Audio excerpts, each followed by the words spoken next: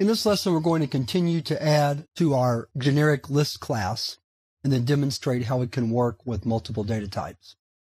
So let's open up the class definition again. That's in list.java. And what we want to do is add a method so that we can add data to the list. We're going to call that method add. And then we're going to write a toString method to display the elements of the list. We're going to postpone any further development of the class to the exercises for this chapter. So our add method is a void method. And here again is where we need to use our placeholder for our data type. Because we don't know, as we're defining this class, what data type is going to be used. So we use the placeholder t instead. The code, we simply add the element to the current position in the list or in the array data store. And then we increment position by one to be prepared for the next add. And that's all we have to do. Again, the key is the fact that we're using our placeholder t for the data type since we do not know right now as we're defining the class what the data type is going to be. And finally, we're going to override the toString method. And what we'll do is, is we'll build up a list of elements as a string by looping through the array.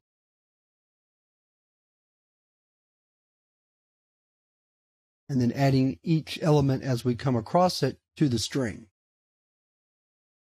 And we'll put an extra space in between each element also. Then when we're finished, we'll return elements. And that's all we have to do. So let's exit and save.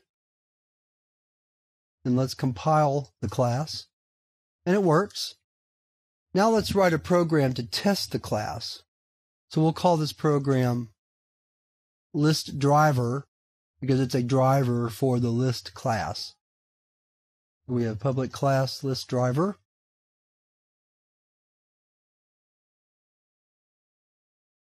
The first thing we're going to do is create a list of strings. We're going to create a grocery list.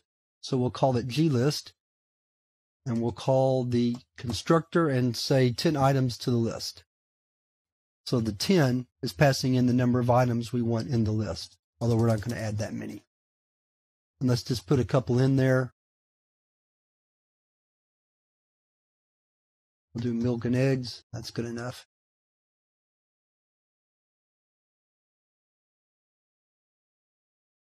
Then let's display the list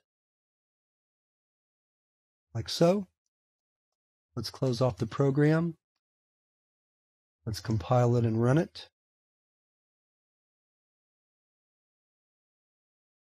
It compiles just fine. And then we run it, and there's our grocery list. So let's go back into the program, and let's add a new list to demonstrate the generic capability of our class. And let's create a list of numbers. This time we'll just make it five, although we're not going to add five. We'll do three. And we'll just do three simple numbers. And then we'll display our list.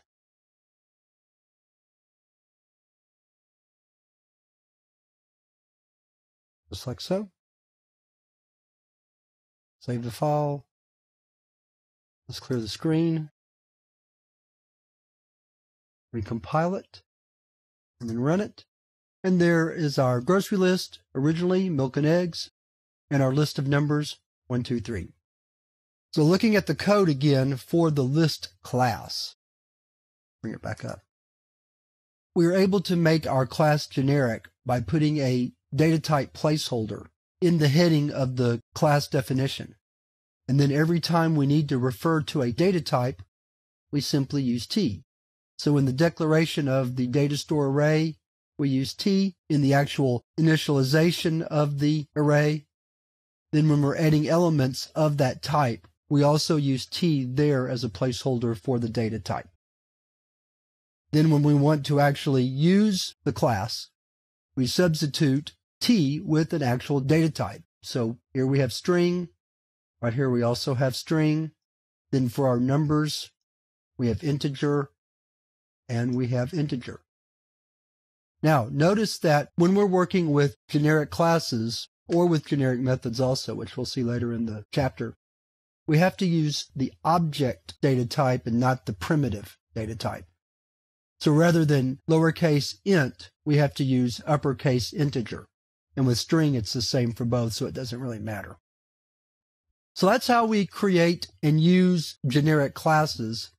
And now we're ready to move on to the next lesson where we're going to talk about creating generic interfaces that can then be used to create generic classes.